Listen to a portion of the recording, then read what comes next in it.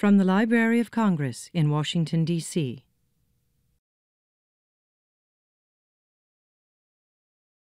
Being a book reviewer, I'm sometimes asked which books of our time are likely to survive into the next century, what, which novels are going to become classics. And always the first books I think of are the novels of Marilynne Robinson. When, when Housekeeping appeared in 1980, it, it, I think it, it just, people felt bouleversé, as they say in French, overwhelmed by the, the beauty, the poetry, the strangeness of this book. We had to wait for many years before a second novel came out, but Gilead, in its way, was, is just as memorable and even more serenely beautiful to read and to learn from. And I think uh, this is true of her, all her, all her work, not just her novels. The third novel is, of course, Home, but Marilynne Robinson is also an essayist of great power and seriousness and conviction. She writes about the religious life, about the religious dimension of all our lives, about politics, about the serious matters of the 20, 20th and 21st century. Her latest book is When I Was a Child, I Read Books. It's a collection of essays on just these themes. She's said that uh, she will talk briefly about the book, but really welcomes questions from the audience. So please think of questions you would like to ask her about her work, in particular about uh, the, the, essays in this book if you already know it, and uh, prepare to enjoy the next 45 or 50 minutes. So without further ado, let me uh, present a very distinguished novelist and essayist, Marilynne Robinson.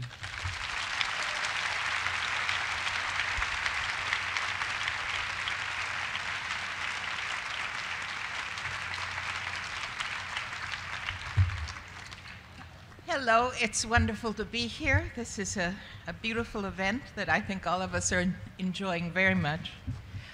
Um, this book, uh, when I was a child, I read books. It sort of sounds autobiographical, and it is really not. I will read a little bit from the one essay that is, in some degree, autobiographical.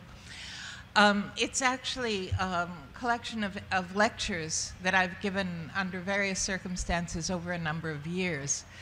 Um, I, uh, the, the fact that people think that I actually sort of wrote the book from beginning to end implies to me that I've been obsessed by the same things for many years. Um, I've enjoyed it, you know. But um, I find that it has been um, incredibly stimulating for me as a novelist to also um, be interested, to let myself indulge my interests in theology and history and economics and all sorts of other things, I feel as if uh, it, it widens my mind in a way that's absolutely necessary to my being able to write fiction that I can consider authentic, actually my own, and not something that simply moves a set of received ideas farther down the generational line, you know. Um, in any case, I'll read very briefly from When I Was a Child, the title essay. And um, then I, I, truly appreciate questions from the audience. That's when I find out what it would be of interest to you to hear me talk about. So, when I was a child, I read books. My reading was not indiscriminate. I preferred books that were old and thick and hard I made vocabulary lists. Surprising as it may seem, I had friends, some of whom read more than I did. I knew a good deal about Constantinople and the Cromwell Revolution and chivalry. There was little here that was relevant to my experience, but the shelves of northern Idaho groaned with just the sort of dull old books I craved, so I cannot have been alone in these enthusiasms relevance was precisely not an issue for me. I looked to Galilee for meaning and to Spokane for orthodonture, and beyond that, the world where I was I found entirely sufficient. It may seem strange to begin a talk about the West in terms of old books that had nothing Western about them, and of naive fabrications of stodgily fantastical authoritative worlds which answered only to my own forming notions of meaning and importance. But I think it was in fact peculiarly Western to feel no tie of particularity to any single past or history, to experience that much underrated thing called deracination, the meditative, free appreciation of whatever comes under one's eye, without any need to make such tedious judgments as mine and not mine. I went to college in New England and I have lived in Massachusetts for 20 years, and I find that the hardest work in the world, it may in fact be impossible, is to persuade Easterners that growing up in the West is not intellectually crippling. yes. On learning that I am from Idaho, people have not infrequently asked, then how were you able to write a book? Once or twice, when I felt cynical or lazy, I have replied, I went to Brown, thinking that might appease them, only to be asked, How did you manage to get into Brown? One woman, on learning of my origins, said, But there has to be talent in the family somewhere. In a way, housekeeping is meant as a sort of demonstration of the intellectual culture of my childhood. It was my intention to make only those allusions that would have been available to my narrator, Ruth, if she were me at her age, more or less. The classical allusions, Carthage sown with salt and the sowing of dragon's teeth, which sprouted into armed men, stories that Ruthie combines, were both in the Latin textbook we used at Coeur d'Alene High School. My brother David brought home the fact that God is a sphere whose center is everywhere and whose circumference is nowhere. I never thought to ask him where he found it. Emily Dickinson and the Bible were blessedly unavoidable. There are not many references in housekeeping to sources other than these few, though it is a very elusive book because the narrator deploys every resource she has to make the world comprehensible. Idaho society at that time at least seemed to lack the sense of social class, which elsewhere makes culture a system of signs and passwords, more or less entirely without meaning except as it identifies groups and subgroups. I think it is indifference to these codes among Westerners that makes Easterners think they are without culture. These are relative differences, of course, and wherever accident grants a little reprieve from some human folly, it must be assumed that time is running out and the immunity is about to disappear.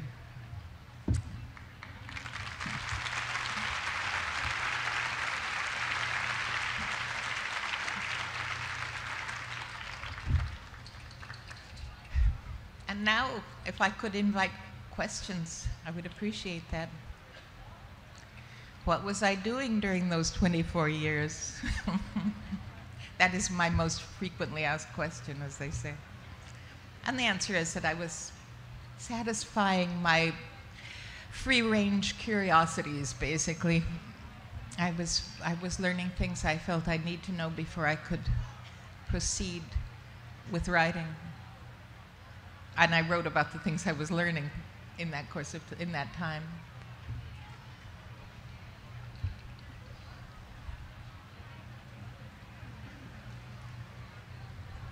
My daughter graduated from Bard College this spring, and she's making a reverse journey today to Missoula, Montana. And she studied fiction and, and writing and is a, a fan of your work, as am I one of the things that she struggles with, because she's lived in many places, is how, how does place inform a, a writer's work? And if you could speak to that in your own experience, you, you talked a little bit about it with what you read for us just now. Yes. Well, it's interesting. The first book, Housekeeping, uh, was based on the really very much the landscape where I grew up, the mountains, the the uh, big lake, you know, the uh, even details of vegetation, insofar as I could remember them, that was all as, as faithful as it could be because um, that was the sort of ancestral homeland of my family.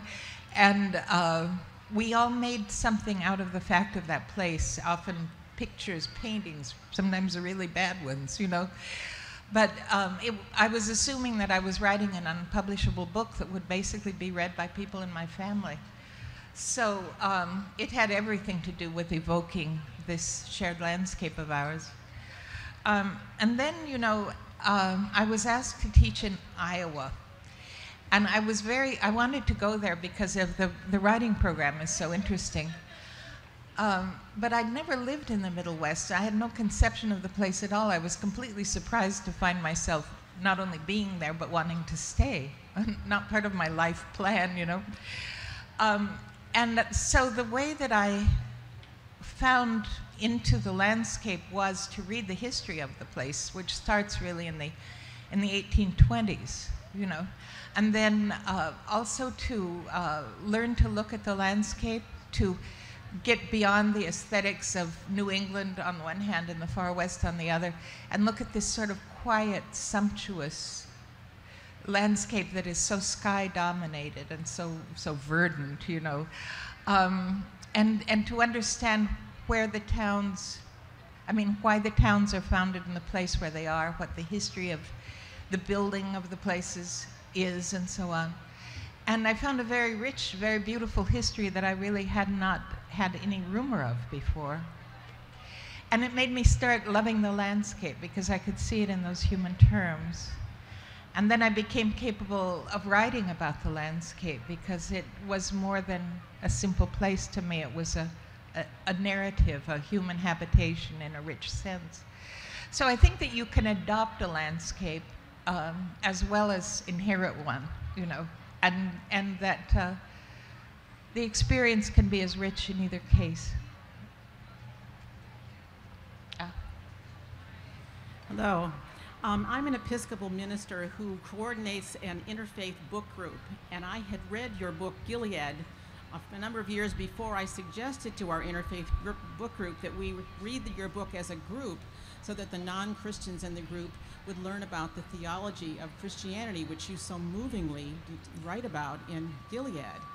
And one of our questions was what, what, was the source of your character, the, the, Reverend John Ames? Because one thing, you're a woman and writing so clearly from a man's experience, and that was another intriguing experience. But also your moving descriptions of communion and baptism. You know, is there a personal experience that gave you those ways to describe that, or, or did you have a source from a, from a friend or colleague? Um, well, you know, I'm a very, I have belonged to the same church for about a quarter of a century now. The previous church I only belonged to for about 20 years. I'm, I'm, a, I'm always there, you know, I'm one of those pillars that they talk about. Um, so I've spent a lot of my time for the usual reasons, just sort of observing and pondering religious culture. Um, but John Ames just came to me. I don't know why. I never had any problem writing from his point of view. Um, when you think how many men have ri- written great female characters, there's really no reason that a woman can't write from a male point of view. You know, I look at Tolstoy and Shakespeare. You know, um, so I mean, I didn't expect to do it, but I didn't encounter difficulty doing it either. Something that I would like to say that um, is new in my experience and very important to me is that that my books have come out now in the Arabic languages and in Persian. They're being read in the Arab countries and in Iran. And apparently, the attraction that they feel to them, and I guess they're doing well, is the religious sensibility. I think that if we could step back from sectarianisms, we would understand that there is a, a huge, broad participation in religious consciousness. And I, I'm, I'm thrilled that these, that these books are being enthusiastically reviewed in Egypt. I mean, this is wonderful, you know? And, and uh, I think that uh, we, we talk about religions misunderstanding each other, and we ignore the fact that at a very profound level, they do understand each other. And I think if we put the emphasis in another place, we could untangle a lot of the conflicts that are so destructive and unnecessary now.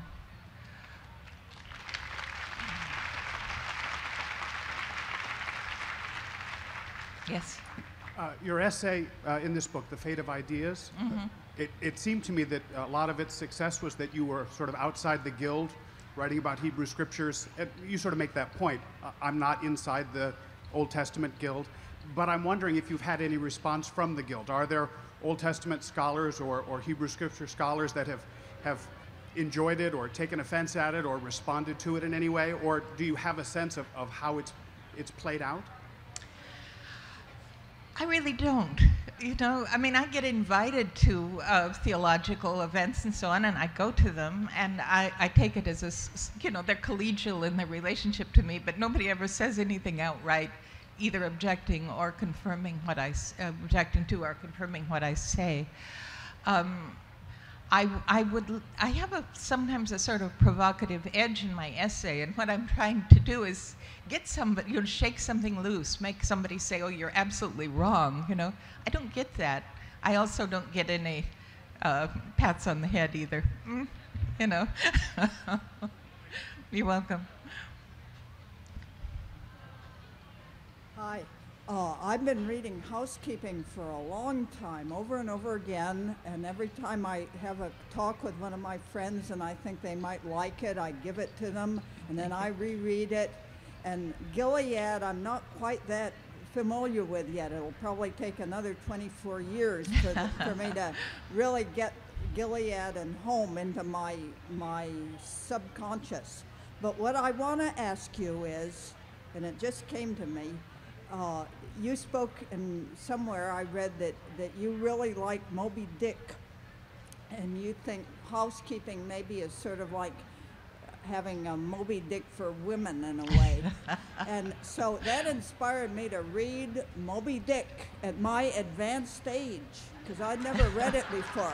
I thought it was a man's book and, and I just couldn't get into it. And lo and behold, with patience and with those wonderful pictures by Rockwell Kent, I was able to read Moby Dick almost as, as with as much enjoyment as housekeeping.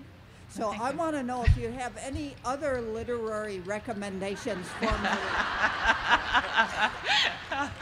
Well, you know, all those wonderful contemporaries of Melville's, I recommend them all. I teach them all all the time. I mean, if you, if, if you haven't read Leaves of Grass lately, I recommend that. It's a lot of splendid stuff. And then, of course, there's Wallace Stevens and there's uh, William Faulkner. Faulkner. Yeah, he's a poet. Yeah, yep. Yes?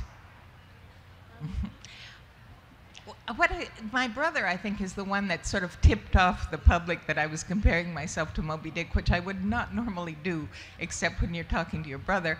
And, and what I said to him was, I wanted to write a book that men could read without realizing all the characters are female, in the same way that I read Moby Dick without it being an issue for me that all the characters are male. That's what I was trying to do. Yeah. Call me Ishmael. So, Gilead is a book that has meant so much to me, and I know probably to a lot of people. And I guess I have sort of an imaginary narrative of, of how it came to be in those years. And I wondered if you could tell us a little about what it was like to write it, how much you knew about it when you started it, whether you knew what it was when you when you sat down to write it. What, what how, how did that book yeah. come to be? Well, you know, I was um, I was invited to uh, be at the Fine Arts Works Center in um, Provincetown, Massachusetts, and I told them that I would come if I could come just before Christmas, and then my my sons, neither of whom was married at the time, could come and spend Christmas with me in Provincetown. So we got these. I got rooms for us in this old empty hotel, but my my sons were late coming. They got both got delayed. So I spent days alone in in an empty hotel on the tip of the continent, you know, with this amazing sea light pouring in the windows and so on. And um, I just started thinking this, you know, it's so hard to describe. This image came to my mind of an elderly man who I knew immediately was a pastor writing a letter to a boy that's playing on the floor by his feet. And I, that's where it started. That was the initial information I had. And then the whole rest of it is simply the uh, unweaving, in a certain sense, of what was implied in that moment.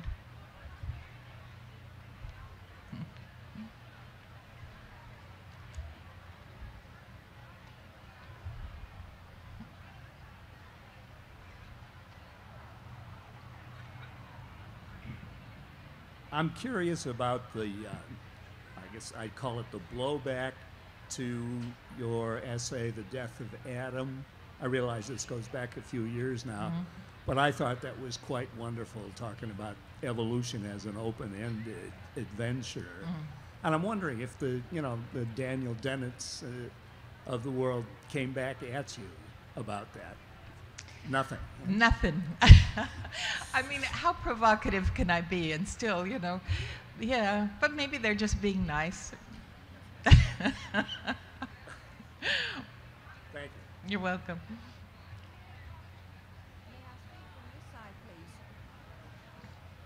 Uh, Who was there first? Mrs. Rob, what a great pleasure to be here. Thank you. I join the lady who spoke before in my love of housekeeping, and I reread it very often. And I, the, I'm just so drawn to the to the sisters, to the aunt, to the setting, to the house, to the river, to the railroad bridge. The entire thing it just is so intriguing. Uh, so could you just tell me a little bit about the setting of the house and the and the the whole the entire family. It's it, it's one of my favorite books. In my dotage, I read it and reread it. I love it dearly. Thank you. Thank you. Um, well, you know, it is set in a, I mean, topographically, the setting is a town of Sandpoint, Idaho, which is where my, my, my parents lived as children and where my great grandparents settled and all that. Um, it's uh, not at all autobiographical. My mother wants you to know that. but um, I as I say in this book, there is a very, very strong emotional music, in effect, that lives in what appear to other people to be essentially uninhabited places, you know. Um, and I wanted to find a way to render the kind of beauty that there is, which is a, it's a difficult, it's a difficult place for people, for people to live. It always has been. Um, the wilderness out, you know, the, the size of the wilderness relative to the size of human population, it's completely disproportionate, you know. Um, and uh, the effect of that is to create a sort of animism, I think, in the consciousness that experiences it, that the mountains feel so alive and, and the lake feels so somehow intentional, even if you don't always feel reassured by its intentions, you know? And um, so it was a, in, in many, many specifics, it's a work of evocation rather than portraiture.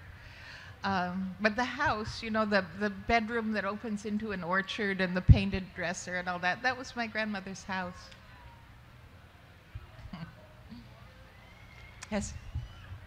Um, so, two themes, seemingly unrelated, uh, in your recent book are first of all the kind of paranoia and tribalism that's become entrenched in, in modern politics and culture, and the reductionism um, of a kind of science that, since we know so much about it now, seems to quantify uh, things that can't necessarily uh, be quantified. But I think a common feature of these two problems is a lack of or a blindness to grace. Um, and as we know, grace is a gift, but I wonder, as a writer, what do you see as the potential in writing to restore or reveal some of that, which is all around us, but uh, seemingly is, is so hard to see? Well, you know, uh, one, if I could do, I, I, I'm- I think all the time I talk to my students about the fact that as individual people, our existence is statistically impossible. There's virtually no likelihood that you will exist as yourself, you know? Um, we're a, a- an anomalous planet in a huge roaring explosion of a cosmos you know, with our little lives going on in this reliable daily basis for the most part, you know, we have, our brains are the most complex object known to exist in the universe. Every single person has in his, her head, the most complex thing known to exist in the universe. It seems to me as if awe is appropriate. It, it seems to me as if if we pondered what we are, the, the impulse not only to respect ourselves but to respect each other would be very much enhanced. And um, we have a way, uh, it's a habit, it's a cultural habit of speaking very disparagingly about people today or whatever the category is. Uh, under no circumstances is disparagement appropriate. Maybe tears are appropriate sometimes, but never dismissal, never undervaluing of the seriousness and importance of a human life, you know? We should, we're here briefly. We are extraordinarily exceptional. It's a beautiful thing that we're involved in, however else you want to describe it. The, our, our sort of systematic expunging of a, the candid expression of joy. This is all sad to me. Uh, the, the diminishing of the uh, a, a sense of the aesthetic as, a, as an ordinary feature of life. Talk about grace, you know. Um, and then, of course, there is dear old science, which I love and follow. But the genius of science is that it's always pointing out where it's wrong. And it advances by, it's the beautiful model of thought in that way. But you know, these deterministic notions that we've had about genetics and so on aren't true because science has found out things that complicate them almost infinitely, you know? So there's a, a tendency to try to impose this very hard carapace on human being, human experience, and science, as much as anything else, disrupts it, you know? And we have to simply be aware we do not have a reductionist, a true, verifiable, legitimate reductionist definition of human being, you know? You're welcome.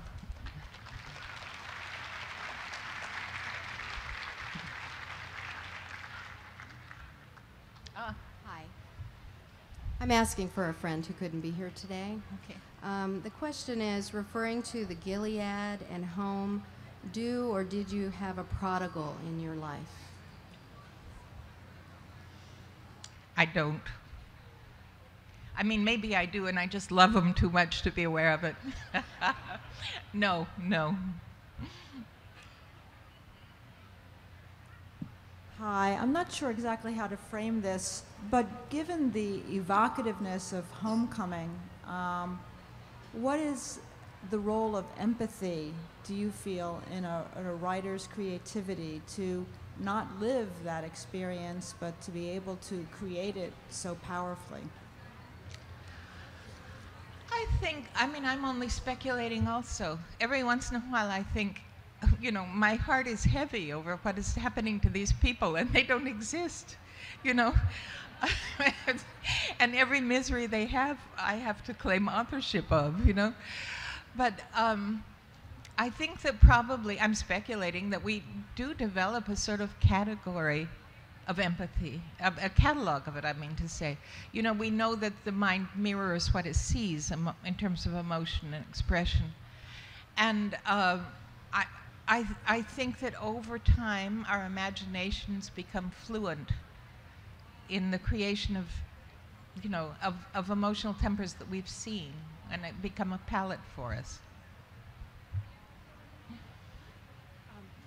If I could amplify on that question asked earlier about the prodigal in your life, I was curious about that too. If you could talk a little bit about the brother sister relationship in home, and also when did you get the idea to write home? I mean, when you were writing Gilead, did you always know you were going to do more with Jack? Or, you know, if you could talk a little bit about both. Okay.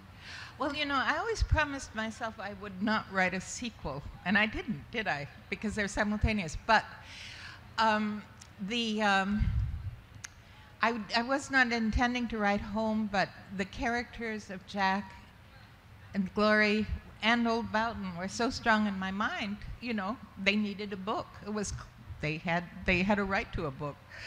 So uh, so I wrote that book, and it in ways it sort of amplified issues for me that in Gilead that I felt uh, perhaps I had not developed in quite the way I should have, or in the degree I should have.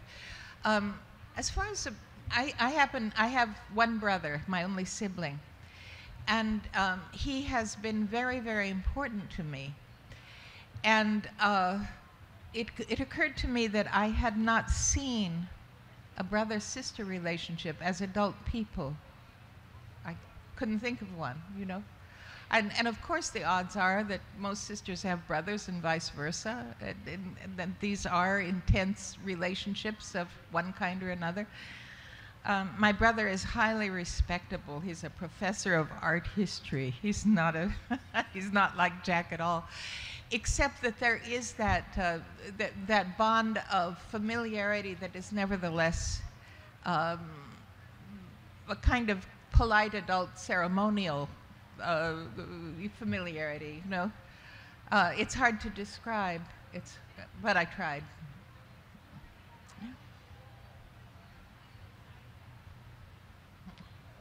Well, just one other quick question. Um, I heard Jane Smiley say once if she could do a thousand acres or whatever that one was, she would rewrite it a different way. And I just wondered, uh, you know, of the three works we're talking about here, uh, are there any that if you went back to, you would take apart and do a different way? Oh, no. Sometimes when I'm reading housekeeping, I come to a sentence that I never got right, you know, and I remember it's there, you know, the little weak place and the creaking place, the soft place. But, you know, I think that probably my impulses at that age were as good and reliable as my impulses at this age, and so I'm just going to let it be.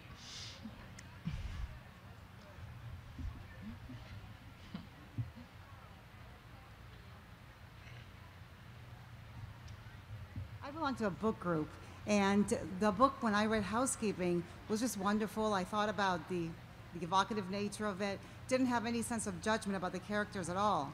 I was really surprised by the discussion when people started talking about homelessness and the irresponsibility of the parent. And I was just totally shocked because I wasn't thinking about any of those issues at all while I was reading the book. So what I wanted to ask you was whether the social issues that it, it, it um, introduces were part of your thoughts about creating the book. They really were not, or even in a sort of inverse way, they were, because um, one of the things that uh, was true of where I lived when I lived there is that there were lots of people, I mean, really a, a fair part of a small population, who were completely indifferent to the norms of conventional life. You know, they lived in cabins in the woods, they had nothing, wanted nothing, hunted, fished, you know. There, there's sort of, of, of, a survival population, no doubt, from original people that originally settled there. Um, and um, they were often very well read, or, you know, they had, or they carved beautiful things, or they did all sorts of other things and knew the woods utterly and so on, and they had a very respected place. Um, and I, I sort of grew up thinking that a life that is pared down in that sense is, a, is very beautiful. When I read Walden in high school, I thought, well, of course, a cabin in the woods, perfect, you know. Um, and, but then people do impose these other, uh, and they're often meant to be benevolent, but they can be incredibly condescending to people who have simply made other choices. You know,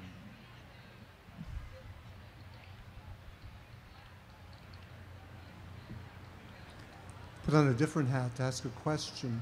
um, I went to Oberlin College, one of the, the great colleges of this country, and you've become very interested in the traditions behind small liberal arts colleges of the Midwest, particularly the theological uh, traditions. You talk about Charles Finney, who was the president of Oberlin and one of the great orators of the 19th century and, and thinkers. What led you to these, uh, uh, these great, um, profound minds of the 19th century who are, no, are really neglected by the modern world? Because it does seem you have a kind of theological imagination that is rare among contemporary writers. I think perhaps of, oh, Geoffrey Hill, the poet, is someone similar who has that kind of depth. Um, and I guess it all goes back to you know what led you to become interested in Calvin and some of the knottier, knottier with a K, not with an N-A-U-G-H, questions of, of religious um, speculation. Well, these things are kind of simultaneous. All these years I have taught whatever else I'm doing, you know, and, and, and people kind of expect me to stop teaching and, and write.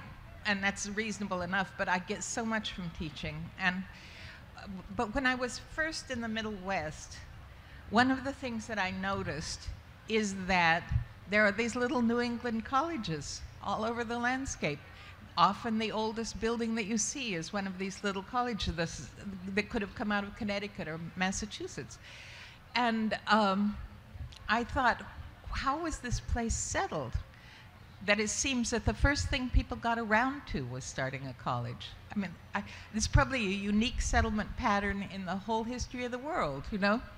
So I started reading about the histories of these colleges, and it turns out that they were uh, founded by people like, like Finney or the, there's two groups of divinity students that came out of Yale, one called the Yale Band, one called the Iowa Band, who simply came into the Middle West to set up these ideal educational communities that would be part of the Underground Railroad. That was very important.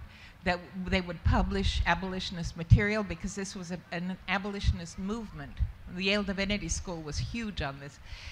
And uh, they, they started classic liberal arts education. The theory was, the fact was, that they would start a church and start a university, a college, I should say, and then they got they bought land from the government in the first instance it raised the value of the land enormously to have people wanted to be near these things when they settled in the Middle West. So they took the difference and they used it to start another college or to endow the one they'd started, you know. These things have a very high survival rate, Carleton and Knox and so on. And uh, they, they continue to be very fine. And Oberlin, of course, is a, a very vivid example of this. And they were they were manual labor system colleges, which meant that everybody on the faculty and everybody in the student body did all the work that was done to maintain these little academic villages. So, you know, the president of the university slaughtered the hogs, you know.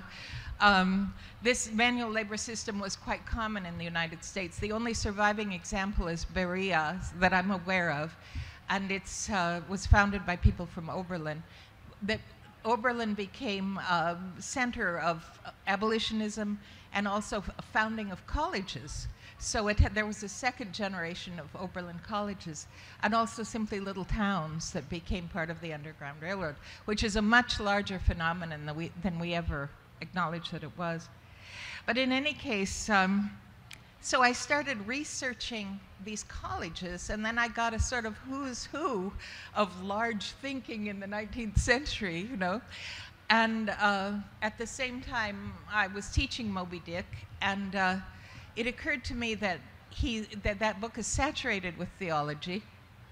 And I had never read the theology it would have been saturated with, which is Calvin and which is not to say he's rephrasing it or anything like that, but it's what he's in conversation with, you know. So I was reading the Institutes on one hand and Moby Dick on the other, found them enormously mutually illuminating.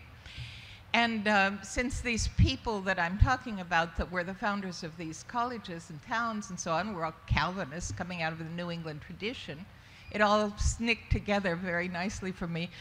And since I had a Presbyterian childhood and a congregational adulthood, I was also, for the first time, reading the major theology in my own tradition.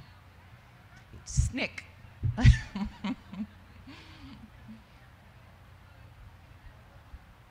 um, I recently finished your book Home, and I wondered what you thought Old Boughton's um, part in young Jack's inability to get his life together was. Um, I guess I wondered whether you thought he really had a part in young Jack's inability to change.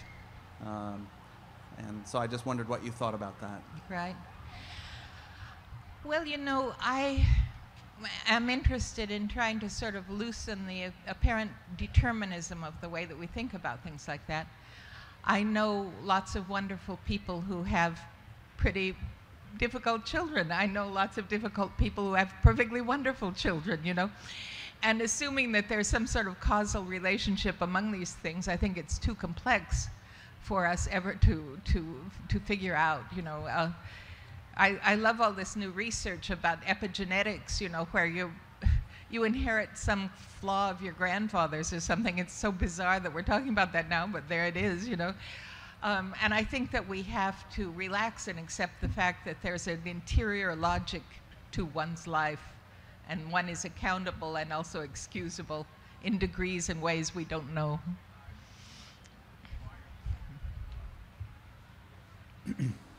Hello. Over here. Um, I, I, I may be, I, I don't know if there are any other Iowans in the crowd. um, uh, I, I'm originally from Missouri, but I spent a lot of my adult life in Iowa. Two of my children are born there. My wife is from there, and her, all of her family. Last summer, we were at the Iowa uh, Des Moines Iowa State Fair and received the uh, a, a a century farm marker Oh, for our farm. Congratulations. For the farm there, and um, so there's a long history, um, and I resonated with um, uh, Gilead, uh, and I've often wondered why. Um, and I, I, I, as I was sitting here reflecting on that, I was wondering if what I was resonating with was a kind of simplicity, not a simpleness of life, but a simplicity of, um, of, of, of simple things and simple ways of being. And you know what, what I, I loved about both Gilead and Home was the journey into some of my own simplicity and how difficult that is.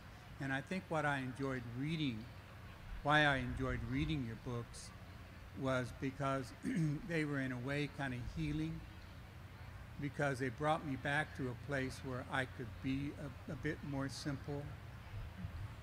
And, and I wondered if, if that was, if, if you resonate with that at all, or if you have any comments about that. Uh, well, one of the things that's I, you know very interesting um, about Iowa, about the Middle West, is that that it, it there's a lot of small town culture there. There are huge cities, but there are a lot of small town culture spread over the landscape. Towns that survive through crashes and droughts and everything in the world, and uh, people uh, have often beautiful libraries. Um, I have a friend who's an organ builder, and he says you go into one of these little towns, you can find three major organs. You know, um, there's a very quiet, very um, unnoticed richness, and and maybe because uh, there are fewer distractions of some kind, there are more intensity of other kinds. You know, um, and I've developed a an enormous respect. You know, I'm. I'm uh, there's there's a lot of loveliness about that, and of course towns vary and people vary and all the rest of it. But Iowa can be very impressive, in a simple way, you know. I mean, an, an quiet, unflashy way. No ostentation there at all. Afternoon. I was wondering when you were discussing about uh, your research of the small colleges in the Midwest, whether you've considered writing a nonfiction book about that. It sounds like it might be fascinating. You know, I, I would like to do it, but you know, time is so finite. It is really something that you have to sort of consider. A book takes a long time. I wish somebody else would do it because there's, I really do. I mean, it's wonderful. There's a whole archipelago of little colleges that have fascinating shared histories. You know, Edward Beecher was here and there. You know, Charles Finney was here and there. And, and uh, they have an ethos, an aesthetic, a culture that is very con- as consistent as the Ivy League, certainly, you know. And they're mutually unaware, which is so bizarre. And I went to Illinois College, which is the oldest college west of the Mississippi River, where Edward Beecher was the president of the college. And I said, You must have great archives. And they said, Well, there's some boxes of things. And there's an old guy that said he was going to sort through them. And, you know, it could be anything. It could be anything. Um, but it's a, a lost and very beautiful piece of American history. I was reading some history of the settlement of Iowa and came across something that surprised me, and that was that a lot of the early ministers, the preachers in the small towns, were women because the men weren't willing to go out into the countryside to these you know, small places and, and start churches. So a lot of the original, um, I think, congregational churches were started by women. I wonder if you had found that, um, read some of those books as well, and, and thought about what that meant in terms of the development of place and culture. Right. That, you know, oddly enough, maybe because I read 19th century sources, but that tends to be underrepresented in my reading. I'm in, interested to know that. One of the things that I, I like about that tradition is that they ordained their first woman in 1853. So they have a very long history of uh, the involvement of women. And women, you know, they support, they tend to be the bone and marrow of virtually any religious organization, if they're allowed to be at all, you know. So it's, it's never surprising that they're important. Yes? Okay, um, question for you. You are in a pantheon, uh, have been identified, you know, in a pantheon of Graham Greene and Walker Percy and that, that group, um, eh, rightly or wrongly. What I'm trying to figure out as I read you, eh, eh, not as much as the others um, so far, but um, how would you distinguish what makes your writing or their writing Christian or religious or spiritual? And can you give me an example of a good a writer you respect and enjoy where that element is pretty much absent? Well, I think that the di- distinction between religious and secular is a lot harder to make than people generally act as if it were. Um, one of the things that's true is that most English language literature has scriptural resonances in it just because they're so embedded in the language. I admire all kinds of writers. I mean, I don't know how I. I certainly prefer, say, a Faulkner to Graham Greene and so on. You know, I mean, I'm not looking for. I, I feel that anything that is deeply, justly perceived as religion by any definition I would use you know. And now I, I'm getting a sign here from this kind lady. So goodbye.